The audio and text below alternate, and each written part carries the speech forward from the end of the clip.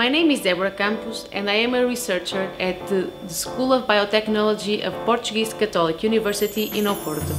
My research focuses on the development of new methodologies for the recovery of high-value biomolecules from agroindustrial waste, as well as the development of innovative products with high biological capacity.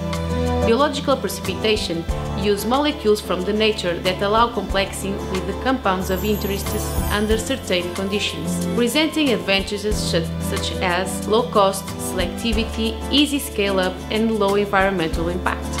The production of nanogels with anti-inflammatory and mucolytic capacity by mobilization of these biomolecules are examples of the later application of this technology being able to control and model their release as well as their biological activity.